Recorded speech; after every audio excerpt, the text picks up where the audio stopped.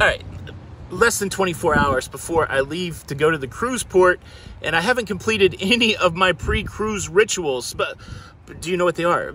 This video, this episode, six pre-cruise rituals that I do, uh, do you do them too? Let's talk about it.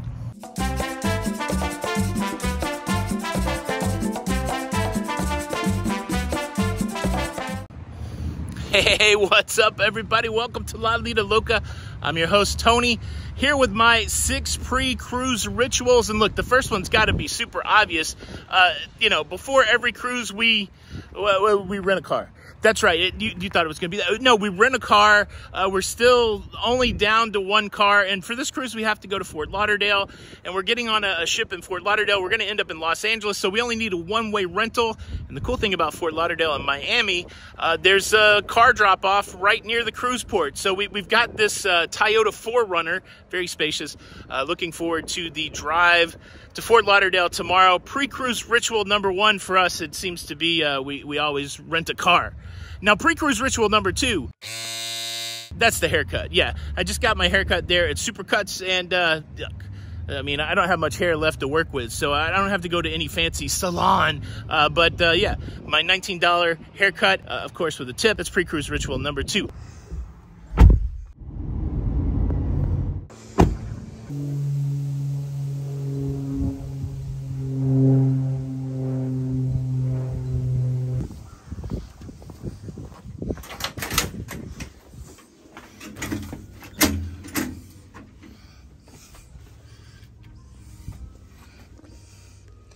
Locked out of my own house. Yeah.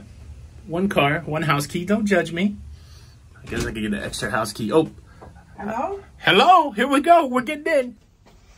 All right. Ooh. Ugh. Doesn't matter how many clothes I already seem to have. I always got to get some new clothes. So uh, a couple new pairs of shorts. And look, I'm going V-neck with different colors. Look, that's not black, folks. Well, okay, there's a black one, but still. Yeah, a couple pairs of shorts, four V-neck t-shirts. Cruise ritual number three, clothes shopping. Now, pre-cruise ritual number four, uh, not that surprising. Look, every new cruising experience, well, it needs, it needs new gear. Let, let me tell you about some of the new gear. Okay, so this is this is a 10 to 18 millimeter wide zoom f.4 aperture. Uh, really a smaller lens than what I currently have on my Sony a7C. And uh, I want to I want to use this for some run and gun vlogging. There's stabilization in the lens.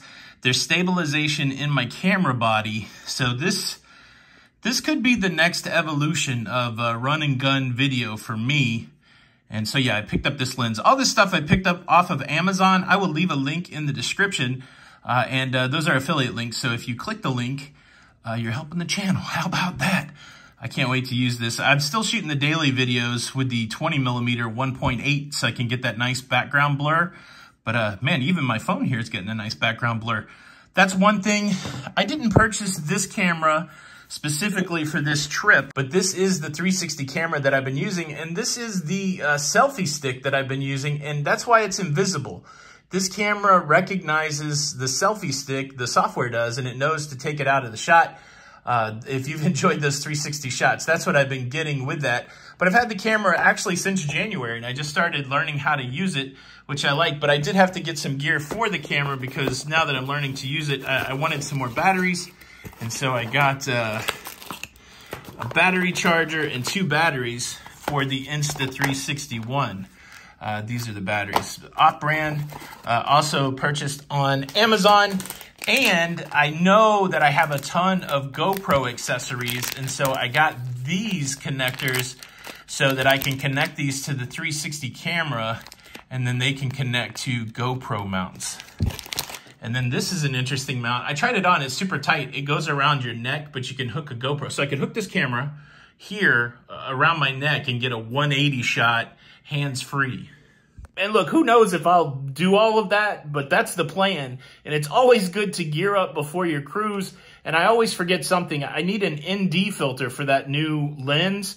And I don't have enough time to get it delivered to the house. So I'm going to an Amazon robot tomorrow in Fort Lauderdale or Wednesday, depending when it gets there before the cruise, to pick up an ND filter. I love the Am no, it's it's a counter. It's not even a robot. This I've never been where there's an Amazon counter. Maybe I'll have to show you guys that. But yeah, pre-cruise ritual number four, gear up.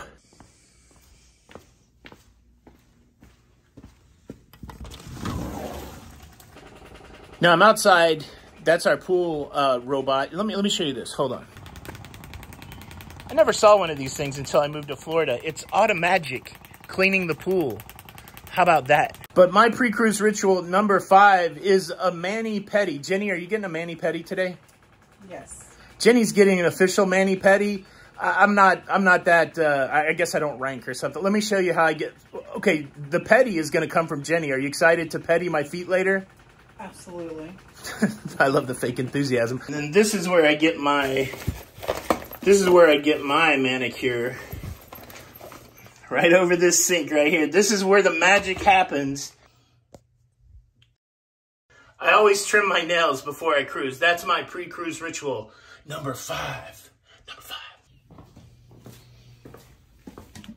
Look, I got to take a break in the video right now to take care of some important important business. And the important business is to invite you to subscribe. If you're brand new here or if you've been here for a while, if you like staying up to date with everything that's going on in cruising, oh, toilet paper. Can you still see that? I'm not in the bathroom. Cruising, it's still there. Please consider subscribing with the notification bell on. That way you don't miss out on any of these episodes. And now, let me tell you about uh, the, the most essential pre-cruise ritual right now in 2022. I feel a little dehydrated. I wasn't going to the bathroom. Calm down. Calm down.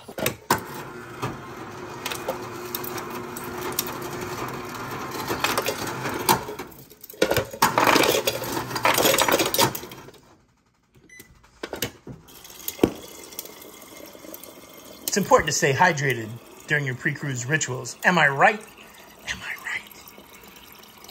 Ooh, filtered H2O.